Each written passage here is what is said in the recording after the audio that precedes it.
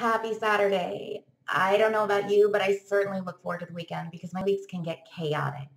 How often do we reschedule an appointment because we're too busy taking care of kids or working through lunch or rushing home to start dinner?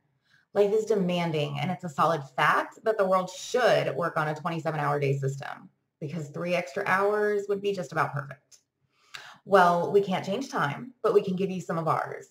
Today, Saturday, November 14th, from 10 a.m. to 1 p.m., our Wooster, Millersburg, and Mount Vernon Mancan offices will be open taking applications. We have more than 100 job openings available, and we're making it our mission today to find the right one for you. Just bring in your two forms, a government ID, and let us help you find the job you've been looking for. Remember, if anyone can, man can. See you there.